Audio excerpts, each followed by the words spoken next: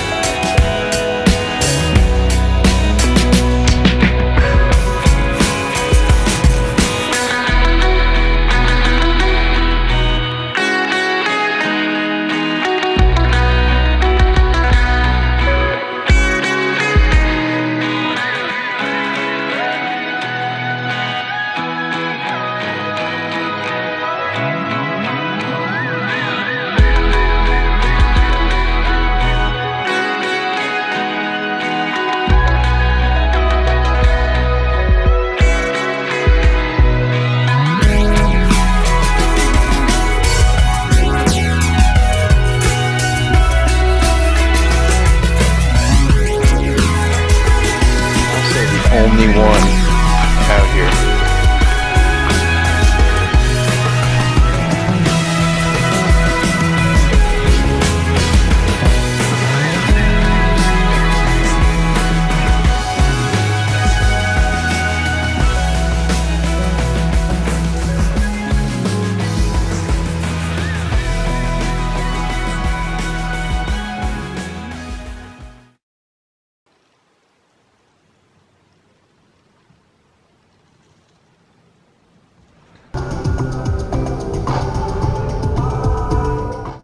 Gonna go hike that.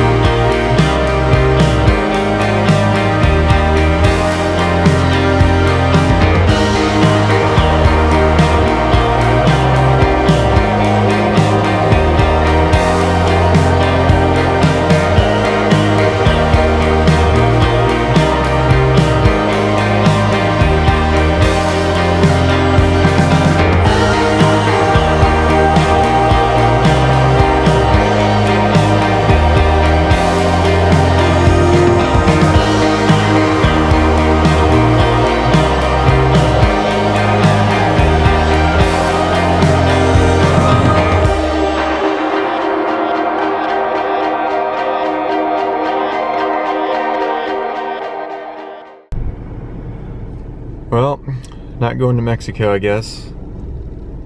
Right beyond me, right over here, is the Rio Grande and Mexico. The border crossing's closed today. There's a, a little like stand over here, a little rock with uh, some like knickknacks and walking sticks and like a like a bucket with Spanish writing on it. So I guess they crossed the river uh, and then just leave this stuff for tourists to buy. There is on the opposite side of the river, there's a mule tied up in a canoe. And then right here, there's this uh, unattended vehicle. So I'm wondering if maybe those people didn't uh, hitch a ride over there. I did see, right as I pulled up, someone crossing the border over into America on horseback. So that's pretty interesting. This is a very strange place.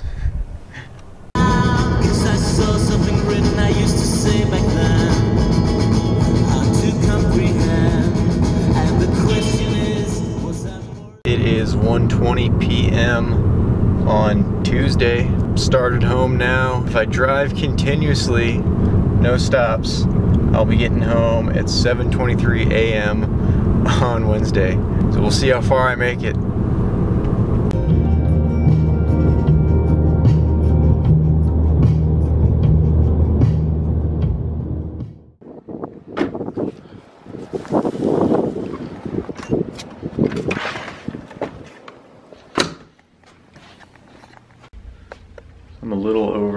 Halfway home.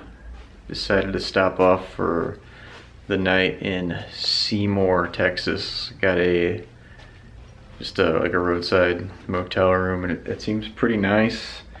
Except for one thing I, I've noticed so far. I guess to not die in a fire costs a little bit extra. Back in Oklahoma.